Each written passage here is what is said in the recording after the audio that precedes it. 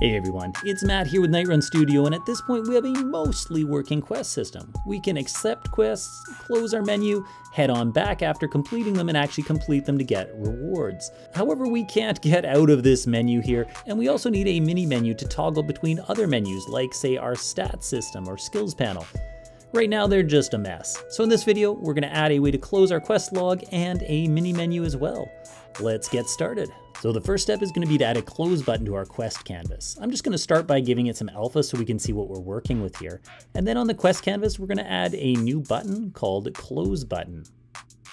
For this image, I'm going to use the button blue 3 slides from the Tiny Swords asset pack, and in its rect transform, just set it to a width and height of 120. I'm then just going to drag it up into the top corner here as I want it to appear by my quest log title.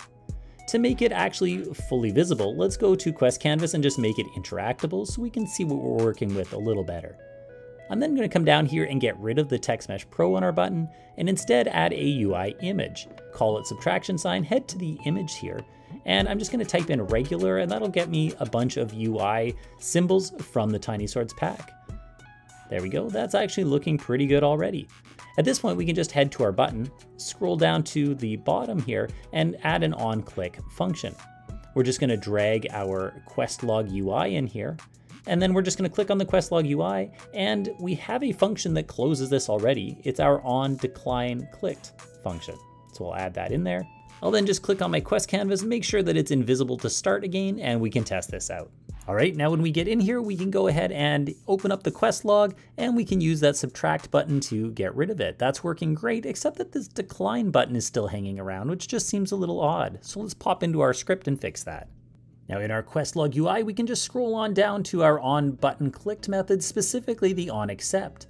At the moment, we just decided not to do anything with the decline button as we needed it to close the menu. We don't anymore, so let's copy what we did for accept and just get our decline canvas group and set it to false. That's all we have to do for now. Now when we get in the game, we can accept the quest, use our close button to close it, and once we've completed it, we can come back, click complete, and you'll notice there's no longer a decline button there. All right, that's working really well. Now that we've got a close button working for our quest log, it's time to add that mini menu to toggle between all of our different menus. Now all of our other menus are currently hiding out in this prefab for our UI manager and we'll want to add our quest canvas to it at this time. That said, since it's a prefab, we can't just drag it in there, so instead I'm just going to hit Command C to copy it, open up our UI manager prefab, and then paste it in here.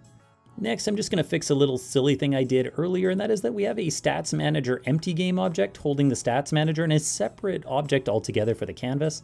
I'm just going to copy that component, go to our Stats canvas, and paste it as new.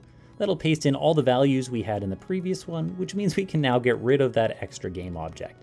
All right, now we've got a canvas with a manager for each of our different menus. Now let's create our menu bar. I'm just gonna right click on the UI manager and add a UI image. We'll call this one bar, and then I'll actually head up to the canvas and just rename the canvas as menu bar. Now, down on the bar itself, we need an image. I'm going to be using the banner horizontal. That's going to look atrocious at first, but before we do anything with it, let's just click on our quest canvas and make it visible so we can kind of see how this menu bar fits within the rest of our UI. So first, let's give some size to this thing. I'm just going to make this one about 1120 by 450.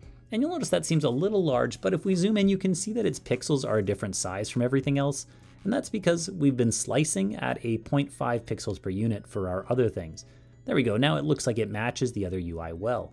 I realize this doesn't fit perfectly on the bottom here, you can set it up wherever you want on your screen, but I feel like this is the best place for now. I'll just close up those components we're not using, and then I'm gonna go ahead and add a grid layout group. This is just gonna be what organizes the different buttons we put on this mini menu. For now, we can just leave it empty. And before we add any of those buttons, I'm just gonna go back to the menu bar itself and make sure it has a canvas group, which is what will enable us to turn the menu bar on and off depending on whether or not we want it to show during gameplay. With that done, we can go down to our bar and add some buttons. My first button is going to be for my stats menu, so I'll call it stats button. I'm then just going to add the image of button blue 3 slides. And for now, we can't control its size from here as we need our grid layout group to do that. So if we go on back to the bar now, we can head into our grid layout group and I'm going to make these about 240 by 120, which seems like a nice size to get some letters on there. We're then just gonna add some padding as right now it's up in the top corner here. I'm also just gonna add some negative spacing and negative 10 here, which at the moment you won't be able to see what that's doing, but let's duplicate these three buttons and it's just gonna pull them a little closer together. I could put zero and it would just spread them out a little more and I just like the way it looks with that negative spacing there. All right, with that done, we're gonna get rid of those extra buttons as we don't need them just yet. Next, I'm just gonna add some words to this button. I'll type in stats here, then select bangers as our font. I'm gonna make this one a size 48. And then I don't like that it's sitting a little too low here, so I'm just gonna head to my rect transform and just move it up a tiny bit. With that done, we can duplicate it for each of the different menus we have, and then I'm just gonna rename them. So we have a skills button, and we'll change its TextMesh Pro to be skills, and then we'll also set up our quest button. Now that we've made these beautiful buttons, it would be nice if they did something. So I'm just gonna head to my assets folder into scripts, and I'm just gonna create a new one as we don't currently have anything for sort of meta UI. So I'm just gonna make this one a UI scripts folder. We'll head inside and I'll create a new C-sharp script called UI Manager. Let's begin by getting rid of our start and update methods. Now this is going to be the script responsible for toggling each of these different menus, so let's begin by making some references to them. So we'll make a serialized private canvas group field, and the first will be our menu bar. Now we will need to keep track of whether or not the menu bar is currently open, so we'll make a private bool called isMenuActive. Next, we'll just need a reference to all three of our other menus, making serialized private canvas groups for the stats menu, skills menu, and quests menu. Now that we've got references to them, we need an actual method that's going to be able to toggle them. So let's make a public void method called toggle menu. And here we'll take in the canvas group that is our current target. Now we don't want to have to write and rewrite a whole bunch of logic for turning off the alpha interactability and blocks raycast for each of these, so we're going to make a helper method, similar to what we did with our quests earlier on. Here, this will be a private void set menu state. It's just going to take in a canvas group called group and a bool for whether or not it's making that canvas group active. What it will then do is just get that group's alpha and set it equal to, and here it will ask a question. Well, is it active? If so, it'll set it to 1, if not 0. It will then set the group's interactability to whatever the is active is. So if it's true, it'll turn it on. If not, it'll make it uninteractable. And we'll do the same for blocks raycast. Now up here in toggle menu, we can use that set menu state to get our stats menu and toggle it false. In fact, we're going to turn all of the menus false when we first call this. By doing this, we'll make sure that whatever menu was currently open is now closed, and now we can open the target menu. So we'll get our set menu state, tell it to grab the target, and turn it on. All right, that's all we need to do for now. Let's test this out. Back in Unity, while we're still in the prefab for our UI manager, let's click on that manager and add the UI manager script we just wrote.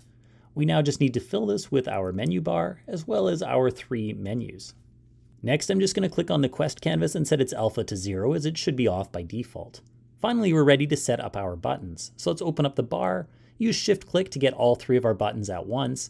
We'll add an on click function, and now we can drag the UI manager in there. Now, for each of these individually, we're just going to add a function. We're going to tell it to talk to the UI manager and tell it that we want to toggle a menu. Now here it just needs to know which one, so the stats button will toggle the stats canvas, and etc. Now we're ready to run a test, and when we get in the game, we can in fact click on each of these buttons. It will close the previous menu, open the correct one. That said, we're having a little bit of a layering issue here. So if we click on our player UI and open the canvas, we can see its sorting order is zero, but so are our other canvases. So Unity doesn't necessarily know which one to render above the others. So let's head to our stats canvas and give it a 2 so it's nice and high. We'll do the same thing for skills as well as for quests. Finally, we'll get our menu bar and just set it to order 3 so that it's above all of them. Now when we do our toggling, you'll see that the mini bar stays on top no matter which menu is opening and things are actually working quite nicely. That said, we don't really want this mini menu to be here all the time. We want to be able to open or close it only when the player actually wants to see the menu. Let's do that next. So I'm going to close up the menu bar here as we actually want this button to be a standalone that will be on our screen at all times as it will be able to toggle everything. So let's go to our UI manager where we're going to add one more canvas. We'll call this one menu toggle and then we're just going to add a UI button onto it. And for the image, we're going to use button blue three slides one more time.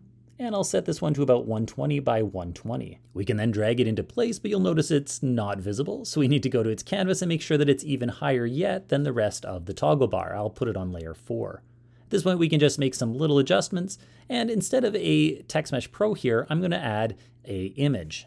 We'll get a little fancy here, adding an image that's going to show a plus sign when it's supposed to open the menu and a minus when it's supposed to close it. And then just going to start off with a regular 8, which is the plus button, as we'll get our code to update what it's supposed to look like at any given time anyways. So now let's head into our UI manager to make that happen. Now, first of all, we're going to need a serialized private sprite reference to our open sprite, then we can copy paste that and make a reference to our close sprite as well. We then need a reference to the image that's actually going to display these sprites. So let's make a serialized private image reference. It won't like that, so let's head up top where we can get rid of these namespaces we're not using and add using unityengine.ui. We can then give this a name, menu toggle image, and there we go, no red squiggly. Now because this toggles a little differently than our other menus, we're going to need to add one final method. We're going to make this a public void called toggle main menu. This one does not need to take anything in as it will always be dealing with the menu bar canvas.